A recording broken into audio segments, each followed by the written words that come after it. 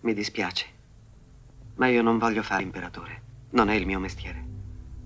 Non voglio governare né conquistare nessuno. Vorrei aiutare tutti se possibile. Ebrei, ariani, uomini neri e bianchi. Tutti noi esseri umani dovremmo aiutarci sempre. Dovremmo godere soltanto della felicità del prossimo. Non odiarci e disprezzarci l'un l'altro.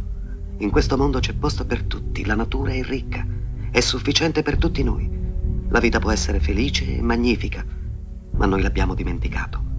L'avidità ha avvelenato i nostri cuori, ha precipitato il mondo nell'odio, ci ha condotti a passo d'oca a fare le cose più abiette. Abbiamo i mezzi per spaziare, ma ci siamo chiusi in noi stessi. La macchina dell'abbondanza ci ha dato povertà. La scienza ci ha trasformati in cinici, l'abilità ci ha resi duri e cattivi. Pensiamo troppo e sentiamo poco. Più che macchinari ci serve umanità. Più che abilità ci serve bontà e gentilezza. Senza queste qualità la vita è violenza e tutto è perduto.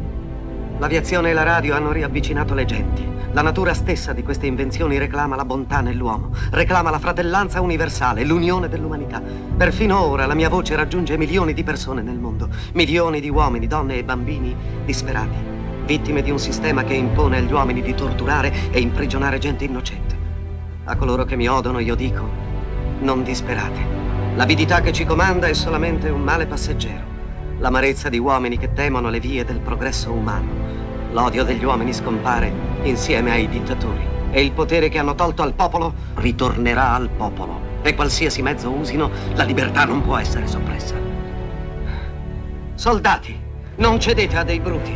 Uomini che vi disprezzano e vi sfruttano, che vi dicono come vivere, cosa fare, cosa dire, cosa pensare, che vi irreggimentano, vi condizionano, vi trattano come bestie! Non vi consegnate a questa gente senza un'anima! Uomini macchina, con macchine al posto del cervello e del cuore! Voi non siete macchine! Voi non siete bestie! Siete uomini! Voi avete l'amore dell'umanità nel cuore! Voi non odiate! Coloro che odiano sono quelli che non hanno l'amore altrui! Soldati, non difendete la schiavitù, ma la libertà! Ricordate nel Vangelo di San Luca è scritto il regno di Dio è nel cuore dell'uomo, non di un solo uomo, di un gruppo di uomini, ma di tutti gli uomini. Voi, voi il popolo avete la forza di creare le macchine, la forza di creare la felicità. Voi il popolo avete la forza di fare che la vita sia bella e libera, di fare di questa vita una splendida avventura. Quindi in nome della democrazia usiamo questa forza, uniamoci tutti, combattiamo per un mondo nuovo che sia migliore, che dia a tutti gli uomini lavoro, ai giovani un futuro, ai vecchi la sicurezza. Promettendovi queste cose dei bruti sono andati al potere, mentivano,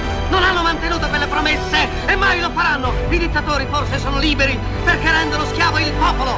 Allora combattiamo per mantenere quelle promesse, combattiamo per liberare il mondo, eliminando confini e barriere, eliminando l'avidità, l'odio e l'intolleranza. Combattiamo per un mondo ragionevole, un mondo in cui la scienza e il progresso diano a tutti gli uomini il benessere.